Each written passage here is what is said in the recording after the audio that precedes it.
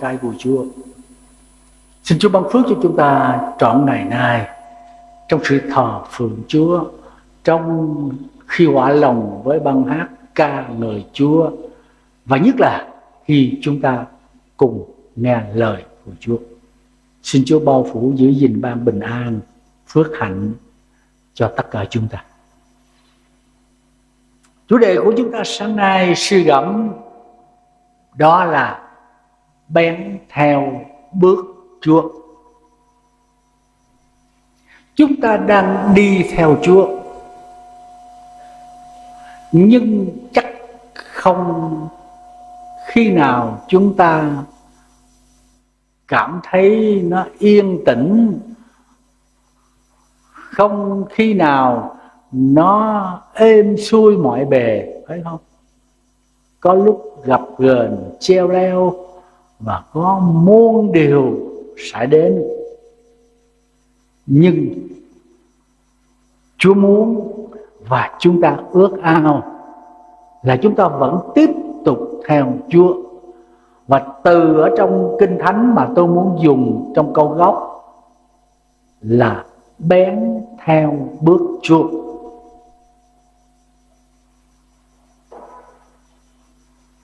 Kinh nghiệm của Job cũng là kinh nghiệm của chúng ta trong bước đường theo Chúa.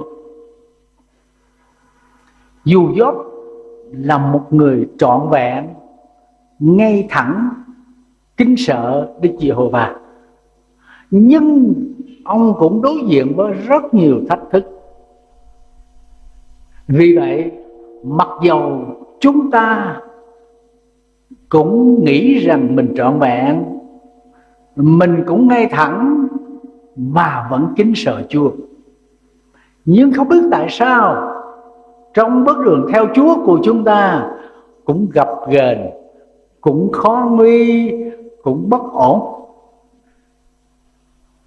Cho nên đây là bài học rất quan trọng rất cần thiết cho mỗi chúng ta. Và hết sức là thực tế. Từ khi chúng ta tin nhận Chúa bước đi theo Chúa, hầu việc Ngài. Chúng ta ôm lại xem, bước đường đã qua như thế nào? Hiện tại ra sao? Và tương lai phía trước, con đường chúng ta phải đi để tiếp tục từ đất lên trời như thế nào? Không thể nào chúng ta không suy gẫm. Hầu cho chúng ta cứ bén theo bước Chúa cho đến cuối cùng.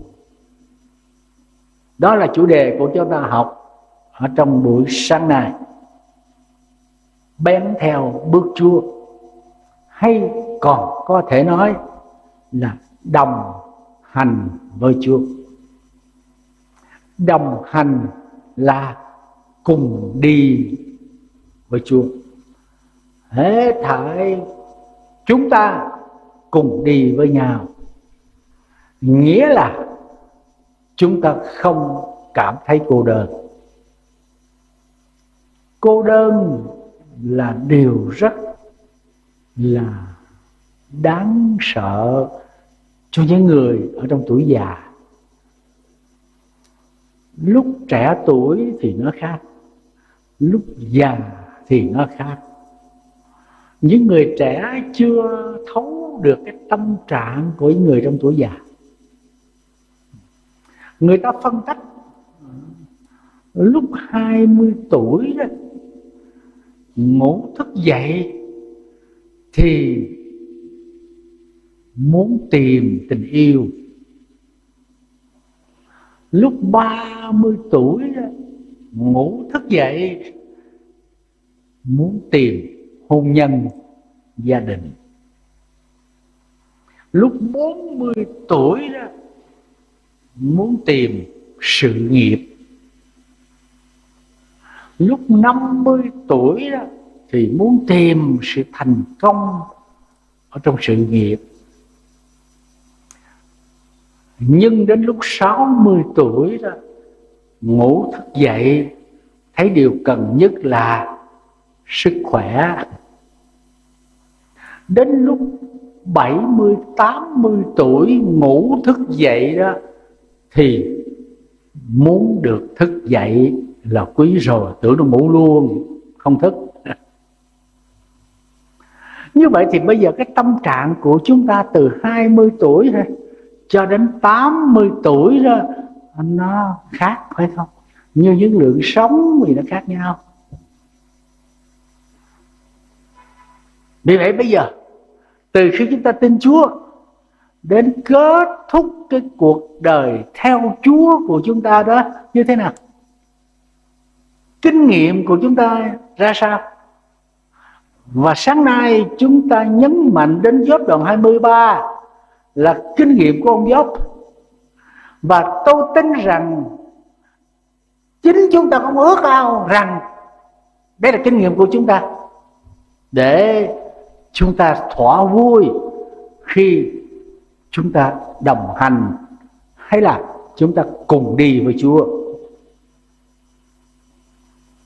Chắc tâm trạng của những người già sợ nhất là cô đơn. Lúc còn trẻ đó, thì chúng ta nghĩ khác. Bởi vì lúc đó cơ hội nhiều quá ồn ào quá, không cảm thấy cô đơn. Nhưng đến lúc chúng ta cảm thấy cô đơn, chúng ta biết cô đơn nhất là lúc nào không? Lúc mà chúng ta đưa người thân chúng ta ra nghĩa trang đó, rồi chúng ta ai nấy đều chia tay về nhà của họ trong sinh hoạt ồn ào của họ, chúng ta về nhà thấy thiếu đi một người không còn gặp lại nữa. Nhất là một người đối diện với sự ra đi vĩnh viễn của một người chồng, một người vợ của mình. Không có một cái gì lấp đầy được đâu, thưa quý vị khi mà nó mất mất một người thân đã cùng đồng hành, đã cùng sống với chúng ta, trong tình nghĩa vợ chồng hay là cha con hay là mẹ con, trong suốt mấy mươi năm trời, bây giờ kết thúc, một mình chúng ta cảm thấy rất cô đơn.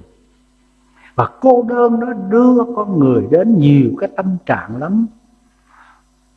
Và ngày hôm nay, một cái bệnh rất phổ thông là gì? Là người ta cảm thấy hụt hẫng ở trong cuộc sống. Chung quanh có nhiều người, nhưng mà chúng ta vẫn không thấy rằng ai là người có thể phù hợp với chúng ta để đồng hành. Cô đơn là tâm trạng của rất nhiều người. Trước, sau sẽ kinh nghiệm được.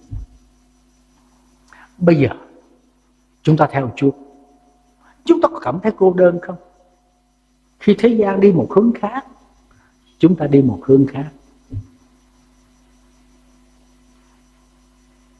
Ông dốt có vợ, có con, có bè bạn, có sự nghiệp, có sức khỏe. Rất là bình thường. Nhưng rồi, con chết, nhà sập, tài sản mất bè bạn lên án, vợ còn sống mà như chết. Khích lệ ông, quán cách bỏ chúa. Thân thể của ông từ đầu đến chân không chỗ nào lành lặn. Dốc dường như mất tất cả. Bây giờ ông quay trở về với chính đời sống của mình. Vốn là một người trọn vẹn, một người ngay thẳng một người kính sợ Đức Giê-hô-va mà gặp tình trạng như vậy thì làm sao? Vợ có cũng như không, con không còn, tài sản mất hết, bè bạn lên án, thân thể đau ốm toàn thân. Và điều quan trọng, Chúa dường như ẩn mặt với ông. Còn ai nữa để bám víu, thưa quý bạn chị em? Trong tâm trạng đó, chúng ta sẽ nghĩ gì? Chúng ta sẽ phản ứng ra sao? Chúng ta tiếp tục đồng hành, gọi là đi với Chúa, khi mà chúng ta không biết Chúa ở đâu. Ông Job muốn lý luận với Chúa. Ông Job muốn xác định rằng Chúa ở đâu để ông đi theo. Nhưng rõ ràng đi phía trước không thấy, phía sau không thấy, bên hữu bên tả không thấy. Mù mịt khuất, đường đâu để bước tới để đi. Hết sức là bế tắc. Tôi không biết quý ông bà, anh chị em có lúc nào chúng ta cảm thấy bế tắc như vậy không? Dường như không còn thấy một ánh sáng nào để chúng ta có thể bước đi cách đây hơn 50 năm. Tôi được giáo hội bổ nhiệm hầu việc Chúa. Nhưng lại đưa ra tuốt ngoài đảo xa cách đất liền 120 cây số. Lần đầu tiên tôi cảm thấy hụt hẫng. Khi bước xuống chiếc tàu để vượt biển thì đi trong ban đêm, bởi vì đi biển, đi ban ngày nắng nóng lắm, phải đi ban đêm được mát mẻ. Rồi chiếc tàu đi giữa sự tâm tối mù mịt, chẳng thấy trời đất gì cả. Tất cả hành khách đều ngủ. Tôi không thể ngủ được. Chỉ còn một anh tài công lái tàu cái chân anh kẹp vô cái bánh lái đó. Anh gục tới gục lui tôi thấy tiêu rồi. Không biết như thế nào. Anh tài công lái tàu mà ngủ gục. Là làm sao? Tôi nhìn lén coi có cái điện la bàn á, kim chỉ nam không? Chẳng có gì hết. Tôi không biết con thuyền này nó sẽ đi về đâu. 12 giờ khuya, nó cũng lịch xịt xịt xịt lên xuống biển, nước tạt vào, ướt đấy. Tôi hỏi anh tài công, anh ơi, anh lấy tàu như thế thì an toàn không? Anh nói, an toàn lắm nó an toàn như nổi hả? Chung quanh không thấy gì cả. Anh nói với tôi rằng có phải anh lần đầu tiên đi biển không? Tôi nói đúng. Đúng rồi, anh lo sợ chứ tôi đi mỗi ngày. Có cái gì đâu mà sợ. Tôi nói, gan vậy sao? Nó à tại sao anh yên tâm? Anh bắt đầu nói. Anh nói với tôi, anh hãy nhìn lên bầu trời. Anh nhìn thẳng có hai cái sao là sao năm tàu với sao bắt đầu dù như thế nào, tối tâm mù mịt ra sao, đó là hai ngôi sao định hướng. Đây là sao bắt đầu? Nhìn chĩa xuống phía bắc. Nhìn ngược lại, nam tàu, giống như thập tự giá là cái cái nhọn này nó chĩa xuống phía nam. Đấy là hai con sao không có di dời đi, dù biển cả mênh mông dầu đêm tối phủ trùng anh nói, lại có một ngôi sao. Như vậy thì tôi lái tàu chỉ biết ba ngôi sao đó thôi. Tối hay là sáng không quan trọng. Tôi hướng về phía bắc, bởi con sao bắt đầu phía tây là nam tàu và có con sao gọi là máng nước, nó có hai ngôi sao. Đầu hôm thì nó thế này đúng 12 giờ khuya nó nằm ngang gần sáng nhích lên. Cho nên anh nói rằng bây giờ hiện tại nó đang 12 giờ khuya. Anh nói với tôi anh hãy ngủ đi, bình yên đi bảo đảm 5 giờ sáng tới. Đúng đi như thế 5 giờ sáng nên đó là lần đầu tiên tôi đi biển bị hụt hẫng. Nhưng tôi học được cái kim chỉ nam la bàn thiên nhiên là như thế đó không biết chúng ta có kinh nghiệm đó chưa? Nên có kinh nghiệm đó để cảm thấy rằng giữa cái sự hụt hẫng quơ hoảng đó, đức chúa trời vẫn y nguyên. Ngài muốn cho chúng ta nhắm xác định ở trong bước đường theo chúa. Ngôi sao, mặt trời, mặt trăng, muôn loài vạn vật chúa dựng nên định vị không đổi thay. Trái đất quá nhỏ bé so với cả vũ trụ bao la không hề thay đổi. Cho nên hơn 90% những bác học nổi tiếng trên thế giới là những người tin rất sắc son nơi Chúa. Chỉ một vài người vô thần mà thôi. Cho nên xin Chúa giúp cho chúng ta bài học buổi sáng nay là bén theo bước Chúa. Thường thường một bài giảng của tôi có ba điều. Nhiều quá thì khó nhớ, ít quá thì ổn nhớ ba điều là vừa. Đấy. bây giờ sáng nay chúng ta cũng nhớ ba điều.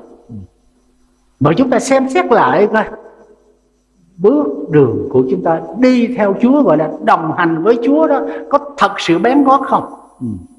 Đó là vấn đề đặt ra. Điều thứ nhất, chúng ta sẽ duyệt qua nhiều hình thức theo Chúa. Xem coi chúng ta theo Chúa trong hình thức nào. À, có sáu hình thức theo Chúa của chúng ta. Bây giờ mở ra ở trong kinh thánh Gióp đoạn 23 và cộng với một số điều trong kinh thánh nói chúng ta có thấy có sáu cái cách mà nhiều con cái Chúa, nhiều tơ tơ Chúa đang theo Chúa đó. Rồi chúng ta gẫm suy xem chúng ta đang theo Chúa cách nào. Đó là thứ nhất chúng ta học. Thứ nhất, nhiều người theo Chúa lại muốn đi trước Chúa đó là cách thứ nhất. Theo Chúa mà lại muốn đi trước, điều Chúa chỉ dẫn. Trong câu thứ 8 này, tôi đi tới trước, nhưng không có ngài tại đó. Chúng ta là vật thọ tạo, chúng ta là người đi với Chúa mà chúng ta muốn đi trước Chúa không à? Chưa cầu nguyện, tự quyết định. Cho nên thất bại là phải rồi. Xin Chúa cho chúng ta xem lại cho mình đang đi theo Chúa cách nào. Có phải chúng ta đi trước Chúa không? Chúng ta vẽ đường để xin Chúa thực hiện không? Chúa ơi, con muốn cuộc đời chúng con phải thế này thế này thế này. Cho nên xin Chúa chuẩn y cho con như thế thì chúng ta lại quan trọng hơn Chúa. Chúng ta lại muốn rằng ý của chúng ta Chúa phải làm thành không? Không ít con cái Chúa như vậy đó. Có một anh kia cầu nguyện, Chúa ơi, con muốn lập gia đình, con muốn có vợ, nhưng mà con không biết ý Chúa như thế nào. Thôi, con bày tỏ ý của con cho Chúa để Chúa giúp cho con anh quen tới năm, sáu cô gái. Cô này thì đẹp nhưng mà nghèo. Cô này nghèo nhưng mà đẹp. Còn cô này được cái này mất cái kia. Anh ghi tên mấy cô gái đó ở trong tờ giấy. Xếp làm tư, bỏ vô lon sữa bò, lắc lắc lắc lắc lắc, thế này. Rồi giờ bắt thăm. Xin Chúa hướng dẫn cho con bắt thăm cái cô nào mà con bắt ba lần đầu tiên cưới cô đó. Cưới vợ mà giống như đi sinh xăm vậy đó. Giống vô chùa rồi cũng đi sinh xăm vậy đó. Nhưng mà ý của anh nó luôn nhắm đến một cô mà anh nói, Chúa ô xin Chúa cho con bắt ngay câu đó nha. Rồi anh cứ bắt. Lần đầu tiên nhầm cô, Nguyễn Thị A gì đó. Không được, cô này nghèo xếp lại bỏ vô lon lắc tiếp. Bắt lần thứ hai lại nhầm cô này nghèo. Bắt một lần thứ ba cô kia giàu mà xấu không có vừa ý mình. Bỏ. Quyết định cưới một cái cô mà anh thích. Nếu muốn giờ bắt thăm chi? Muốn cưới trước cho rồi đi bắt thăm chi cho mất thì giờ? Rồi anh cưới cái cô đó sống với nhau một hai năm, chán chết đòi ly dị. Nói tại sao? Chúa không chiều theo ý của con. Để cho con sống không hạnh phúc. Chúa chưa giết anh là mai đấy chứ. Thế thì rõ ràng có rất rất nhiều người muốn đi trước ý của chúa. Cầu nguyện là gì quý bạn chị em? Cầu nguyện có phải chăng là xin chúa cho ý chúa được thành theo ý của con không? Nếu vậy cầu nguyện chi? Cầu nguyện là xin chúa cho con biết ý của chúa để con bước theo. Đó mới là cầu nguyện. Chứ nếu chúng ta quyết thì cầu nguyện để chúa để làm gì? Trong vườn Gethsemane ba lần Chúa Giêsu cầu nguyện lại cha, nếu có thể được, thì xin chén này cất khỏi con. Sống không theo ý muốn của con mà hơi muốn của cha cầu nguyện là như thế. Và cuối cùng ý muốn của Đức Chúa Cha bày tỏ Đức Chúa Giêsu vâng phục theo ý muốn của cha. Rõ ràng là như thế. Cho nên nếu đi theo Chúa mà đi trước ý muốn của Chúa sẽ thất bại, hoàn toàn thất bại. Hãy kiên nhẫn cầu nguyện để biết ý Chúa rồi hãy quyết định với bạn, chị em. Vì chúng ta đang theo Chúa mà. Chúa phải dẫn đầu chứ. Không thể nào đi trước ý muốn của Chúa mà thành công. Rồi bây giờ, cách thứ hai là đi sau Chúa. Câu thứ 8 phần B, tôi đi lại sao xong tôi cũng chẳng nhìn thấy ngài. Đi trước Chúa là vậy. Bây giờ đi sau Chúa là làm sao? Đi sau Chúa có nghĩa là Chúa bảo phải đi không chịu đi, hay là đi không muốn đi, bỏ lại phía sau. Tức là cầu nguyện, biết ý Chúa nhưng không chấp nhận ý Chúa. Chúa nói với Eva, Adam nữa, ngươi không được ăn cái trái cấm này. Ăn vào sẽ chết nhưng ma quỷ thì để nói rằng không chết đâu, nhưng mở trí khôn. Bằng Đức Chúa Trời, cho nên Chúa cấm đây. Adam Eva bắt đầu suy nghĩ và quyết định không vâng lời Chúa, mà vâng theo lời của ma quỷ qua con rắn. Cả đã Eva ba và hậu tử của loài người phải thất bại, chết linh hồn chết thể xác và chết đời đời.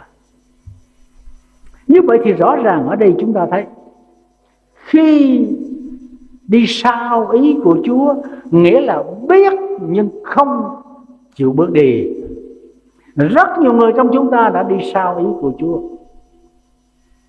Không tuân thủ, sốt sắng để bước đi theo những gì mà Chúa đã bày tỏ cho chúng ta.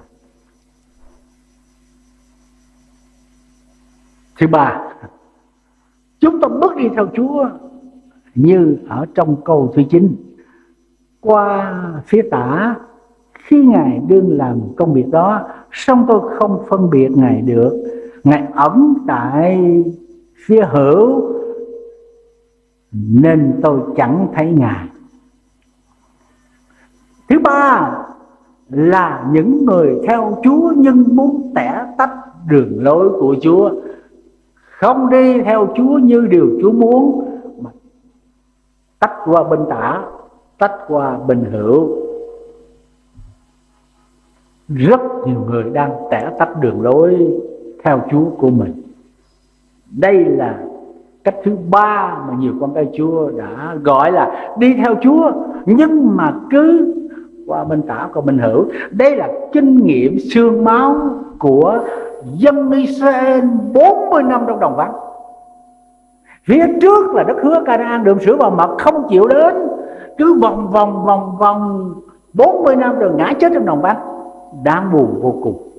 Ở đây ông Gióp nói rằng, tôi qua bên tả, qua bên hữu, nhưng không thấy Chúa. Bây giờ chúng ta nói nhanh hơn, cách thứ tư để chúng ta theo Chúa. Chúng ta trở qua tầng ương có một người đã theo Chúa, đó là phi ở trong Luca đoạn 22 câu thứ 54 đây là cách theo Chúa của phi gọi là theo Chúa. Xa xa, chúng ta xem trong Luca đoạn 22 đó. Ông phi không bỏ Chúa, ông thương Chúa lắm á. Ông quyết tâm muốn theo Chúa đó. Nhưng mà ông không dám bén gót theo Chúa. Ông theo dõi Chúa từ khi bị bắt rồi ra trước mặt tòa án, giáo hội, vân vân. Ông theo rất là sát, nhưng mà xa xa vì ông sợ liên lụy tới ông, phải không? Đến nỗi đầy tớ gái đã nhìn thấy mặt ông và nói, ông chối ba lần. Theo Chúa xa xa sẽ dẫn đến chỗ Chúa như Theodore đơ ngày nay có thể chúng ta cũng xưng mình là con cái Chúa, đang theo Chúa, nhưng mà chúng ta không dám công khai. Chúng ta sợ liên lụy. Lý lịch mà nói theo tin lành thì không ổn. Gặp nhiều cái khó. Nhất là trước đây khi làm lý lịch, rồi đưa vô cái chứng minh nhân dân để là tôn giáo mà tin lành đó người ta cân nhắc nhiều lắm. Đấy là một hình thức mà Chúa muốn cho chúng ta đối diện tôi nhắc lại phi rơ không bỏ Chúa đâu. Nơi sâu thẳm của ông quyết tâm theo Chúa, nhưng ông theo Chúa cách đó đó, ông còn sợ liên lụy. Thậm chí ông ngăn cản Chúa lên thập tự giá nữa, đúng không? Mà Chúa đã cảnh cáo ông rồi. Nhưng ông vẫn tiếp tục đi đến bước chỗ Chúa, vì từ ngay bước đầu ông theo Chúa xa xa. Thứ năm chúng ta vẫn theo Chúa, nhưng cuối cùng bỏ hẳn lối đi là dứt khoát không theo nữa. Đây là tình trạng của ông Dema ông Phaolô nói rằng Dema đã lìa bỏ ta rồi. Nghĩa là Dema theo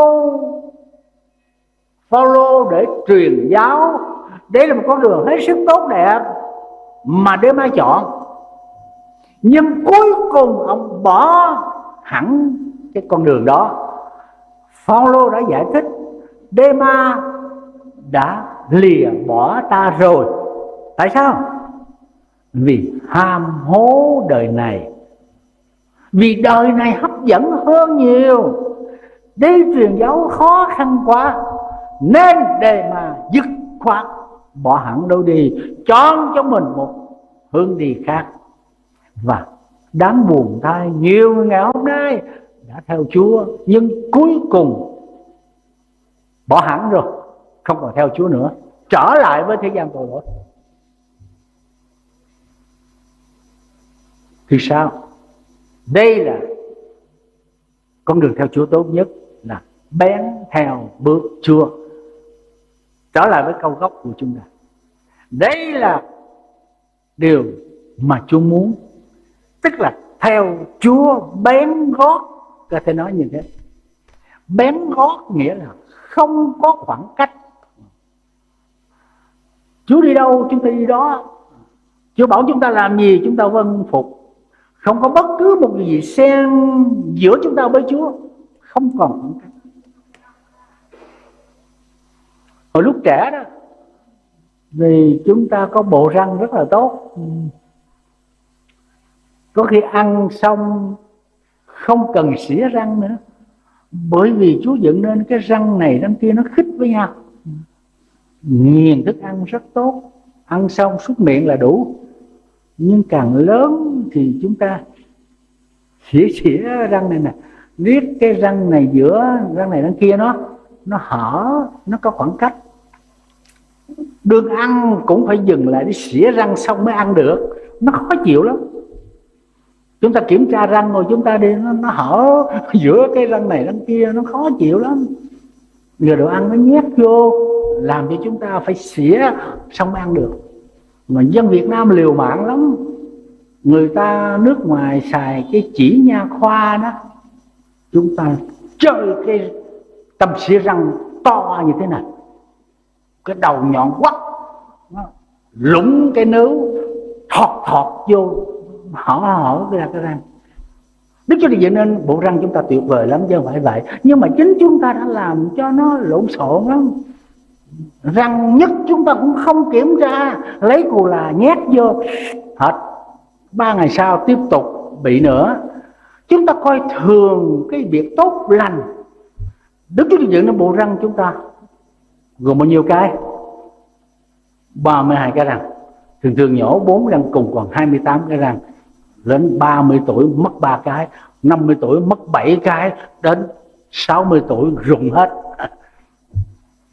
Bởi vì do chúng ta không bảo vệ cái răng là Nghiền 50% thức ăn trước khi đưa vô tử.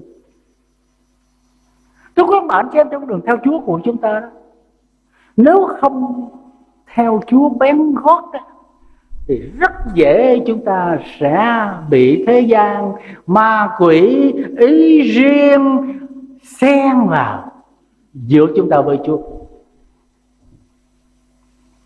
Chúng ta cùng đi ở ngoài đường phố. Chúng ta cùng khởi hành một lượt, rồi chạy cứ khích khích với nhau kéo lạc phải không? Anh chạy trước, tôi chạy theo sau. Không có khoảng cách. Rồi cha chạy tới đèn đỏ. Thì dừng lại. Đợi đèn xanh. Anh chạy, tôi cũng chạy. Anh chạy qua tới tôi tới cái đèn đỏ. Tôi phải dừng. Rồi hết đèn đỏ, tôi mới chạy. Anh chạy mục tiêu rồi. Cái đó không gọi là đồng hành không? Gọi là theo bén gót được. Giữa chúng ta với Chúa có nhiều khoảng cách lắm. Chúng ta xem lại câu gốc, có ba phần rất quan trọng đấy. Chân tôi bén theo, cái từ thứ nhất là bén theo, tức là nó khích, không có chỗ khoảng cách. Giữa chúng ta với Chúa không có bất cứ điều gì có thể xen vô chữ bén theo là như thế. Cái chữ thứ hai là gì? Chân tôi bén theo bước Chúa. Rồi tôi giữ cái chữ giữ, tức là không để nó sai lệch. Tôi giữ theo đường ngài. Có nhiều khi chúng ta không có giữ, kể tới đâu tới. Theo Chúa sao cũng được. Và thứ ba chẳng hề sai lệch. Cái chữ sai lệch. Nếu chúng ta không bén theo bước Chúa, nếu chúng ta không giữ đường lối theo Chúa của chúng ta, chắc chắn chúng ta sẽ sai lệch. Vì vậy, phải nhớ câu gốc của chúng ta có ba điều rất là quan trọng như vậy. Ông sứ đồ phi đã giải thích, chúng ta noi theo dấu chân của Chúa. Dấu chân của Chúa có hai ý nghĩa, tôi có lần đã nói. Nói theo dấu chân của Chúa có nghĩa là khi chân của Chúa dở lên để bước tới, thì chúng ta sẽ đặt chân chúng ta ngay cái dấu mà Chúa muốn dở lên, mới dở lên đó. Chắc chắn không hề sai nói theo dấu chân, tức là Chúa để lại cái dấu. Chúng ta bước là ngay cái chỗ cái dấu chân đó. Và nói theo dấu chân của Chúa có nghĩa thứ hai là Chúa là một cái khuôn mẫu. Chúa đúc chúng ta y như cái khuôn của Chúa, giống như Chúa vậy đó. Đây là ý nghĩa thuộc linh rất cao. Giống như cái khuôn, chúng ta là những cục bột đặt vào trong cái khuôn. Đóng vô nó ra một cái bánh hàng loạt giống nhau. Bén theo bước Chúa là như thế. Xin Chúa giúp cho chúng ta loại trừ năm cái cách theo Chúa không ổn, không đúng, nguy hiểm. Để chúng ta sẽ chọn cách thứ sáu là điều rất là quan trọng. Bây giờ chúng ta nói đến điều thứ hai khi chúng ta đã biết những cách bước đi theo Chúa như vậy, thì bây giờ chúng ta xác định, điều thứ hai, bây giờ chúng ta xác định. Giống như lời Chúa dạy, giống như kinh nghiệm của Job chúng ta cần xác định. Khi chúng ta đã biết rồi, chúng ta cần phải xác định, chúng ta cần phải lựa chọn, chúng ta cần phải tuyên bố.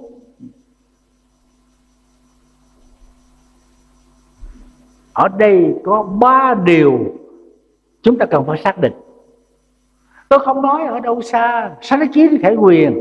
Chúng ta tập trung vào trong chính đoạn kinh thánh này. Để chúng ta rút ra những bài học hết sức thực tế, chính xác. Có ba điều mà chúng ta cần phải xác định. Khi chúng ta nói rằng mình theo Chúa, bén gọt thứ nhất, câu thứ 11 phần B chân tôi bén theo bước Chúa, tôi giữ đi theo đường Ngài, chẳng hề sai lệch. Điều thứ nhất chúng ta xác định là chúng ta đang có sai lệch trong bước đường theo Chúa hay không? Xem lại. Chúng ta xem lại coi trong những ngày qua đó, chúng ta có chợt cái hướng đi theo Chúa không? Chúa đi đằng kia, chúng ta đi cái hướng này. Nguy hiểm lắm và càng để lâu chừng nào thì nó càng đi xa chừng nấy, thưa quý vị.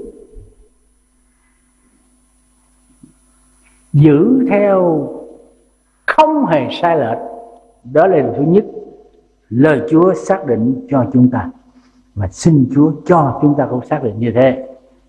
Cảm ơn Chúa, bởi vì dù có vật đổi sao giờ, nhưng chúng ta đang đi đúng hướng chúng ta đang đi đúng hướng không hề sai lệch.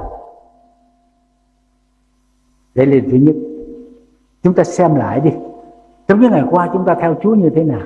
Có lệch không? Lệch là gì là sai? Ừ.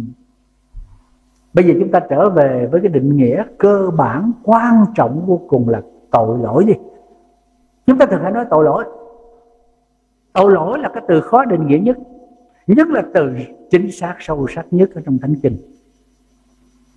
Tội lỗi nó có ba điều chúng ta cần xác định. Thứ nhất là nó không đạt được điều chúng muốn, đó là tội. Thứ hai, tội lỗi là chúng ta vượt quá điều Chúa cấm. Và thứ ba là chúng ta tẻ tách không đi chọn con đường. Đó là lỗi. Một người thợ mai có một miếng vải thật là lớn, rồi gạch phấn để sạc cắt và mai nhưng sơ ấy cắt cắt nó phạm qua bên này, nó xén vào bên kia, quần dài trở thành quần cục. Cái vải nó thiếu mất rồi tức là, đó là lỗi. Lỗi là nó lệch, nó sai. Ở đây kinh thánh muốn nhắc điều thứ nhất trong việc xác định là xem chúng ta có lệch hay không. Đi qua bên tả bên hữu hay không? Điều thứ nhất xác nhận là chúa ơi, xin chúa cho con giữ theo. Chúa không hề sai lệch. Điều thứ hai cần phải xác định. Ở trong câu thứ 10 nhưng Chúa biết con đường tôi đi. Khi Ngài đã thử rèn tôi Tôi sẽ trở ra. Nên là tôi sẽ ra như vậy Điều thứ hai chúng ta cần phải xác định. Chúa đưa mọi điều xảy đến cho chúng ta. Quăng chúng ta vào lửa của sự tức trách Để rèn luyện chúng ta trở thành tinh túy. Điều thứ hai chúng ta cần phải biết là Chúa biết chúng ta rõ hơn chúng ta biết mình. Cho nên Chúa dùng mọi cách để thử xem Còn những điều gì nó còn bám vào Ở trong cuộc đời chúng ta. Nó làm cho vàng tinh anh của chúng ta Nó bị pha trộn. Ông Job xác định rằng Chúa thử tôi Tôi sẽ trở nên như vậy. Chúa biết trong tôi còn xen lẫn pha trộn nhiều thứ. Vàng tính anh là vàng không pha trộn. Ở trong kinh thánh gọi là vàng rong hay là nói theo cái từ chuyên môn là vàng 10 vàng 24 carat. Nó không có pha trộn. Tại sao gọi là vàng 18 vì có 18 phần vàng à 6 phần loại kim bằng đồng, bằng thao bằng chì, bằng đủ thứ ở đây. Cho nên khi đưa qua lửa, nó phải loại ra hết những cái loại kim khác, còn vàng. Và dù chúng ta không gọi là vàng, tại sao vàng bốn số chín với nhàn cái vàng bằng nhẫn à, nó giá trị khác nhau quý bà xem vàng bốn số chín, tạm gọi là vàng mười. Người ta dè dặt là không phải, không không một. Nó có tạp chất. Tạm gọi là vàng bốn số chín, vàng mười đi. Nhưng vàng nhẫn này nó không có giá trị bởi vì khi người ta làm ra chiếc nhẫn này, người ta mới khoanh nó lại rồi hào nó lại. Để nó dính nó có vảy hàng. Nó không phải là vàng. Cho nên giá trị của nó không bằng vàng bốn số chín. Vì nó có pha, đúng không quý vị? Cái này là chuyên môn. Trước khi học, lời Chúa là mục sư, tôi đã học thợ bạc và phân kim là như thế. Bây giờ, điều thứ hai chúng ta xác định là cảm ơn Chúa bởi vì trong bước đường theo Chúa của chúng ta đó Chúa dùng cách này, cách khác thử thách để chúng ta trở nên như vàng. Vui, cảm ơn Chúa cho đừng buồn. Vì Chúa cho phép thử thách đến với chúng ta như Chúa thử thách ông Gióp. Và ông xác nhận rằng mục tiêu tốt nhất trong bước đường theo Chúa của chúng ta, đó là Chúa làm cho chúng ta tin anh hơn. Và điều thứ ba chúng ta cần xác định ở đây trong phần thứ hai lớn là gì? Đó là vân phục vân phục là điều quan trọng lắm. Ở trong câu thứ 12 tôi chẳng hề lìa bỏ các điều răn của ngài, vẫn vâng theo lời của miệng ngài hơn ý muốn của lòng tôi. Vâng theo tuyệt đối là điều vô cùng quan trọng để tiếp tục đi theo Chúa đến đích cuối cùng. Không vâng lời chúng ta sẽ giống như Adam và chúng ta sẽ giống như một số các gương ở trong kinh thánh không tốt, giống như sao lơ vân vân, nhiều lắm.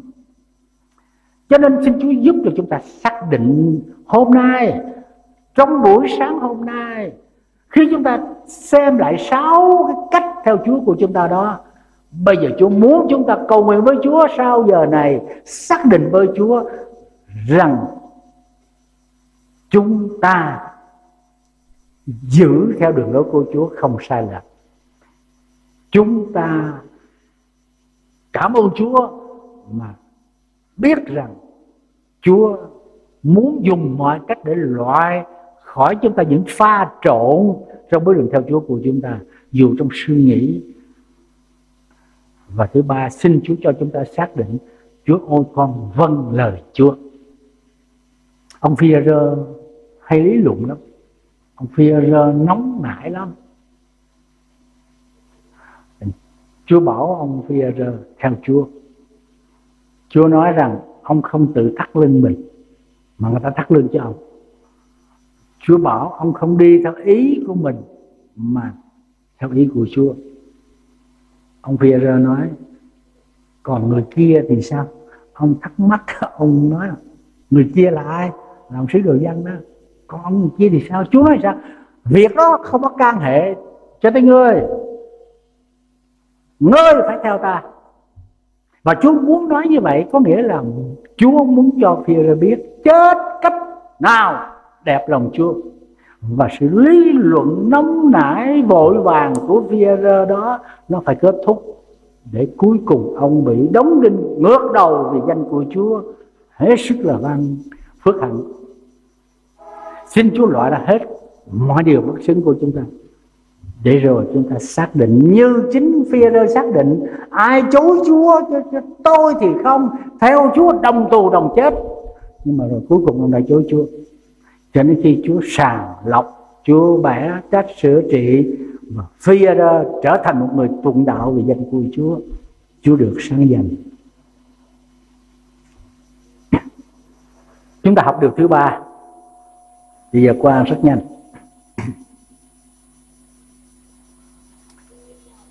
Cuối cùng của bước đường theo Chúa của chúng ta. Hay là nói là cuối cùng của cuộc hành trình đồng hành với Chúa. Chúng ta xem câu thứ 14 điều Ngài đã nhất định cho tôi.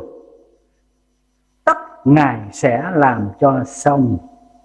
Trong lòng Ngài còn có làm điều khác giống như vậy. Ở đây nói đến những điều Chúa nhất định trên cuộc đời của chúng ta, Ngài sẽ làm cho xong. Cái chữ xong này là hoàn tất, không gian dở theo Chúa phải đi theo đến đích cuối cùng. Bài học của chúng ta trong buổi sáng nay là bén theo bước Chúa. Chúng ta lựa chọn cách để theo Chúa. Thứ hai, chúng ta xác định với Chúa để theo Ngài như thế nào. Và bây giờ, nhờ ơn Chúa để hoàn tất hành trình theo Chúa, hay có thể nói là cuối cùng của con đường theo Chúa của chúng ta. Ngài sẽ làm cho xong. Không có bất cứ một sự cố nào Phá hỏng được chương trình của Chúa. Kế hoạch tính toán của chúng ta sẽ thất bại Bởi vì chúng ta không có khả năng để vượt qua tất cả những khó khăn. Nhưng Đức Chúa Trời toàn năng kế hoạch của Chúa có từ trước và Ngài sáng tạo, Ngài bảo tồn và sự cố xảy ra Chúa có thể qua và làm chương trình của Chúa. Mục đích của Chúa sáng tạo nó muôn loài vạn vật là gì? Là để cho muôn loài vạn vật có mối tương giao với Chúa. Để cho muôn loài vạn vật tôn vinh danh của Chúa và khi không làm điều đó, tức là không hoàn thành kế hoạch sáng tạo của Chúa Adam Eva đã thất bại, đánh mất vườn địa đàng trong Chúa Giêsu viết khi tin Chúa Giêsu chúng ta được phục hồi để có được thiên đàng vinh hiển khi chúng ta tiếp nhận Chúa Giêsu thì đây là kế hoạch đời đời của Chúa sẽ hoàn tất khi chúng ta bước vào thiên đàng vinh hiển tương lai. Cho nên chúng ta đã theo Chúa, chúng ta đang theo Chúa nhưng chưa kết thúc, phải không? Và ước ao chúng ta sẽ hoàn tất trong việc đồng hành với Chúa, hoàn tất trong bước đường theo Chúa tin cậy rằng Chúa sẽ làm cho xong việc mà Chúa đã đang thực hiện trong đời sống của chúng ta Câu thứ 17 rất hay để kết thúc đoạn kinh thánh này. Chúng ta xem. Vì tôi chẳng sợ sệt bởi sự tối tâm cũng chẳng sợ hãi vì sự u ám, mù mịt che phủ mặt tôi. Ở đây ông Gióp muốn nói rằng dù cho tối tông mù mịt, dù cho mây u ám che phủ, thì mặt trời vẫn tiếp tục mọc, vẫn tiếp tục có có lúc chúng ta sợ hãi và không biết tại sao mà như ông gióp đi trước đi sau đi qua tả hữu không thấy chúa, có phải chăng chúa chết? Chúa vẫn hành sống. Mặt tên như teo một con người vĩ đại, một con người cứng rắn, một con người hết sức là dứt khoát. Nhưng đến lúc mà ông phải nản lòng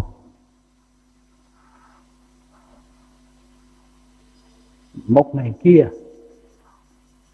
vợ của mặt anh tè, mặc nguyên một bộ đồ tang, đi vào phòng làm việc của ông. Khi mặt cái ta thấy bà vợ của mình mặc nguyên một bộ đồ tang đi vô phòng làm việc, ông ngạc nhiên không ông là ủa, hôm nay bà mặc đồ tang, bà để tang ai vậy? Ai chết vậy? Bà nói thế nào? Ủa, ông không hay gì hết sao? Đức chúa trời chết rồi. Bà Martin Luther nói với ông Đức Chúa Trời chết rồi, ông không hay sao? Martin Luther nói, bà này nói chuyện điên cuồng. Đức Chúa Trời làm sao mà chết được?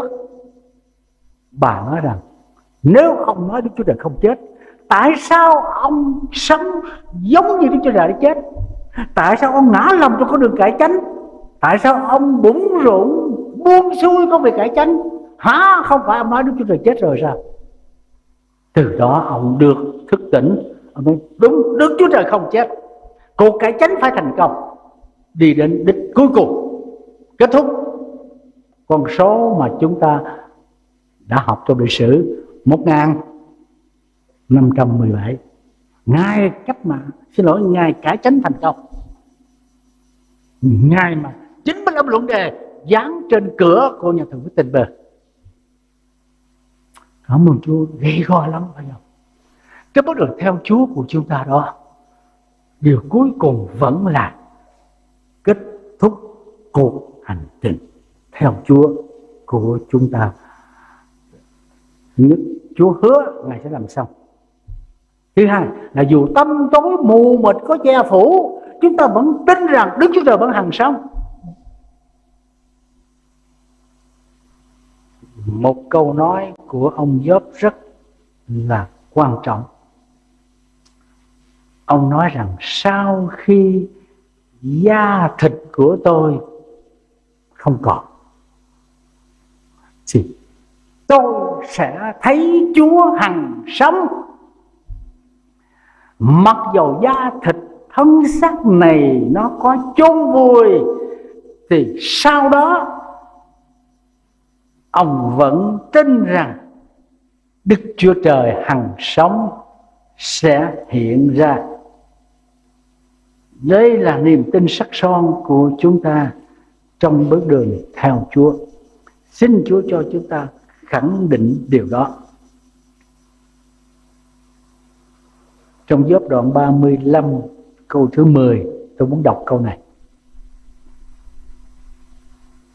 Nhưng không ai hỏi rằng, Đức Chúa Trời là đấng tạo hóa của tôi ở đâu? Ngài khiến cho người ta hát vui mừng trong ban đêm. Trong ban đêm, tối tăm, nghỉ ngơi. Nhưng ngay trong ban đêm đó Chúng ta vẫn có thể hát. Rất vui mừng. Ngay trong cảnh lao tù, Phaolô và Sila vẫn hát ngợi khen Chúa. Đến đổi nên ngục rúng động. Giáp đoạn 19 Chúng ta nghe câu 25 26 Còn tôi Tôi biết rằng đấng cứu chuộc tôi vẫn sống. Đến lúc cuối cùng Ngài sẽ đứng trên mặt đất. Sau khi da thịt tôi, tức xác thịt này đã bị tàn nát. Bây giờ, ngoài xác thịt, tôi sẽ thêm thấy Đức Chúa Trời. Quá đủ cho chúng ta. Và ước ao hết thảy chúng ta ở đây không sót một người nào đều kết thúc hành trình theo Chúa của chúng ta một cách tốt đẹp. Dù cho mặt trời bị che khuất, dù cho đám mây đậm, không thấy được mặt trời, nhưng nơi sâu thẳm của chúng ta tin rằng Chúa vẫn hằng sống. Không có gì che khuất niềm tin, hy vọng của chúng ta ở trước mặt Đức Chúa Trời.